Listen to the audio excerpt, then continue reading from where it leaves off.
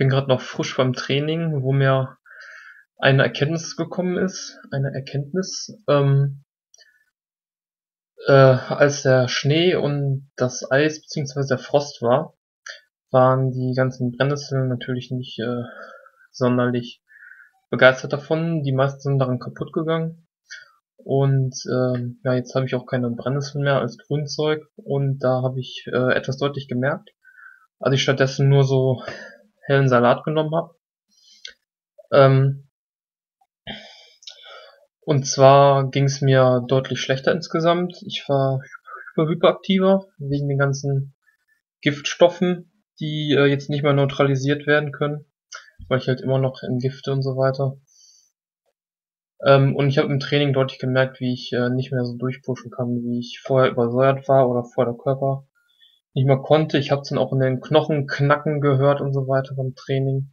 Also nicht so richtig knacken, aber halt ja, so wenn man halt mit den mit den Fingern knackt, vielleicht kennt ihr das. So hat sich das dann angehört, weil einfach die Mineralstoffe von eigenem Körper ähm, benutzt werden dafür. Also deswegen Grünzeug ist eigentlich das aller aller aller wichtigste in jeder Ernährung. Ich bin gerade noch außer Atem vom Training. Ähm, dunkelgrünes Blattgemüse ist wirklich das aller aller aller aller wichtigste, weil die meisten einfach auch so voller Giftstoffe sind und äh, ihr werdet keinen Spaß haben auf lange Sicht äh, mit so einem Lifestyle oder allgemeinen Ernährungsumstellungen, wenn ihr nicht genug ähm, Blattgemüse äh, drin habt. Was noch äh, sehr wichtig ist, ist zum Beispiel Ausdauersport. Das kann auch sehr, sehr, sehr, sehr viel helfen, um auch Gifte auszuleiten, den Körper auch fitter zu machen widerstandsfähiger auch gegen Gifte sozusagen, ob alt oder neu, ähm, also ob die Gifte schon im Körper sind oder ob man sich neu vergiftet.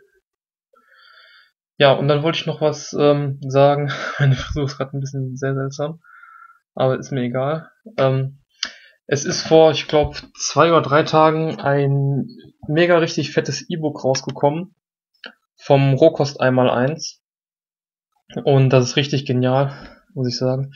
Ich öffne mal kurz eine Textdatei. Da hatte ich mir noch schon was zu aufgeschrieben, genau.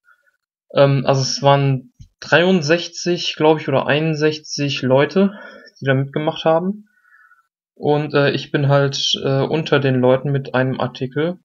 Also sind halt ganz viele Artikel von verschiedenen Leuten. Ähm, ihr werdet es vielleicht auch am Titelbild dieses Videos sehen, wer alles dabei war. Ich kann es auch nochmal kurz einblenden.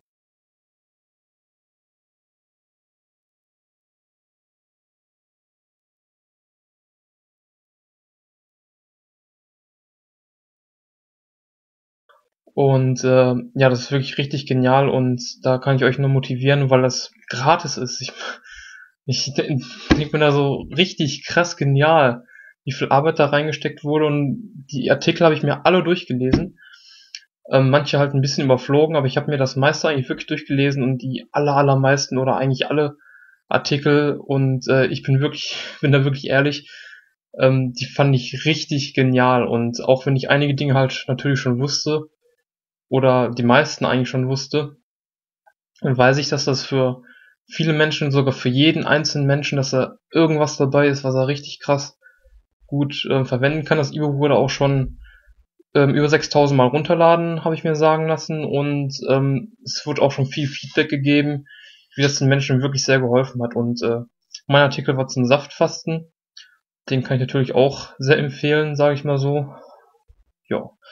Genau, und ähm, um einen kleinen Vorgeschmack zu geben, ich mache das jetzt einfach mal, habe ich äh, drei oder nee, vier, vier kurze ähm, Auszüge aus, äh, ja, aus jedem Artikel, sozusagen äh, jeden Auszug, mir aufgeschrieben.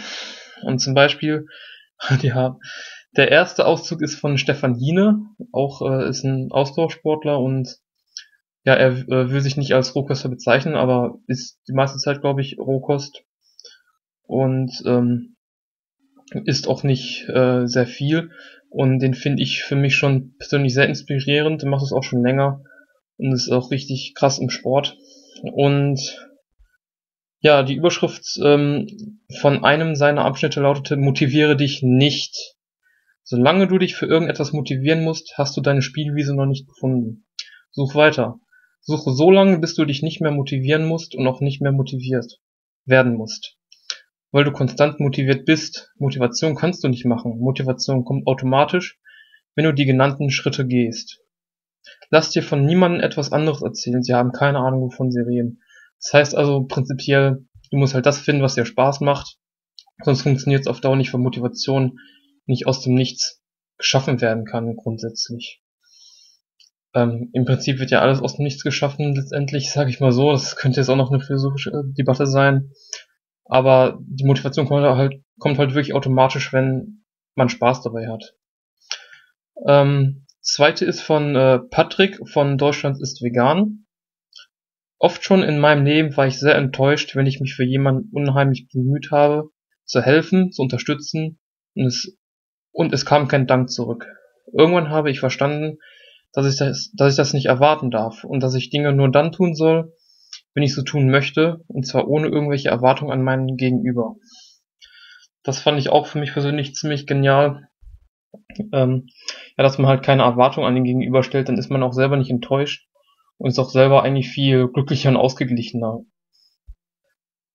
Habe ich bei mir auch so festgestellt. Und dass man halt die Dinge halt nur wirklich dann tut, wenn man sie tun möchte, um und nicht um irgendjemand anders zu helfen, weil da steht dann meistens sowieso dahinter, dass man halt sich selber so als ja, dass man sich selber so beweisen will, dass man ein guter Mensch ist, weil ich anderen helfe. Und dann will man halt aber auch das gesagt kriegen und auch dafür so, sozusagen eine Belohnung kriegen. Und das ist eigentlich die falsche Denkweise, das funktioniert eigentlich nicht auf Dauer, das steht so dahinter. Das nächste ist von Markus Rotkranz, den dürften die meisten kennen, die sich mit Rohkost irgendwie auseinandergesetzt haben. Also, ähm, als ich mich mit Rohkost auseinandergesetzt hatte zum ersten Mal, war es die erste Person, die ich ähm, über Google gefunden habe. Und ich finde es auch richtig hammergenial, was er zu sagen hat. War äh, eine Zeit lang mal anders. Ähm, da habe ich die Dinge noch anders gesehen, aber ich lese einfach mal vor. Aber es sind ganz normale Menschen, die all dies tun. Bedenke somit, es ist nicht nur möglich, die Dinge zu verändern, es funktioniert sogar. Alles, was wir brauchen, ist Aufklärung und Inspiration.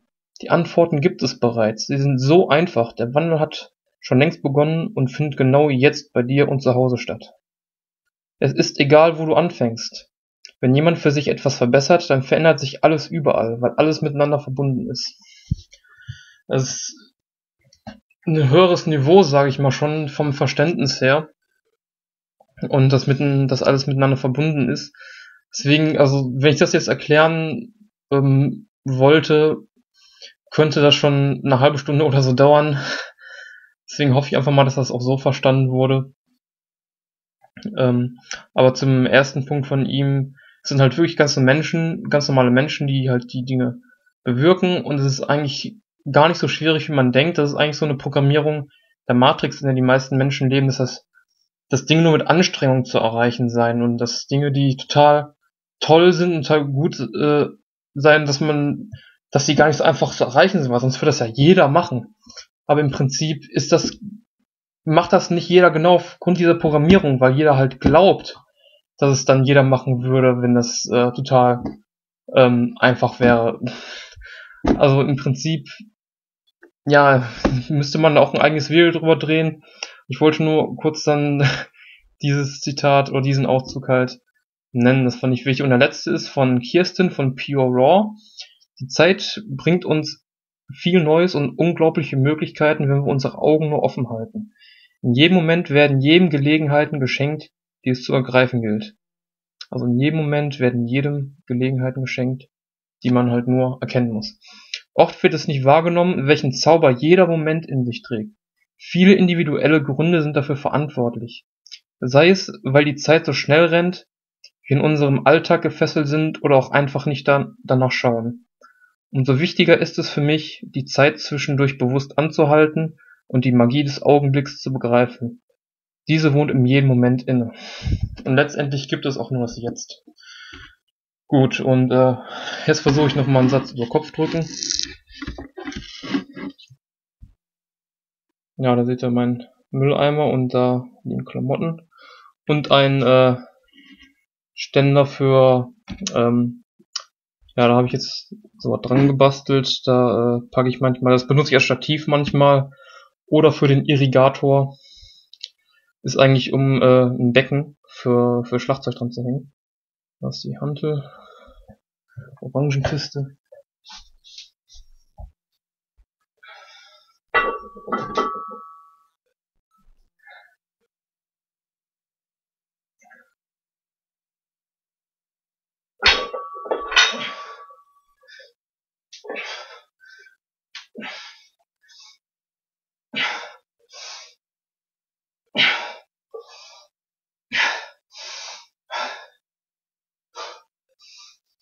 Das sind dann doch nur vier. Mit 60 Kilo. Das waren mal 70 Kilo. Aber jetzt habe ich so eine chaotische Phase. Das wird aber wieder mehr auf jeden Fall.